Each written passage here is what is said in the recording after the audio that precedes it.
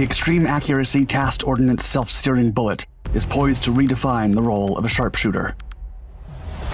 Conceived in the 2000s, the concept not only offers troops in the front line enhanced capabilities, but also guarantees safety when engaging a far off target. The Exacto bullet, developed by DARPA, has already been tested against natural phenomenons that were otherwise insurmountable for a regular sniper, and it can outmaneuver wind and dust, conferring almost superhuman abilities to a human element. As the industry awaits the deployment of this remarkable piece of military technology, Exacto promises to harness the power of precision guided missiles, all within a tiny bullet.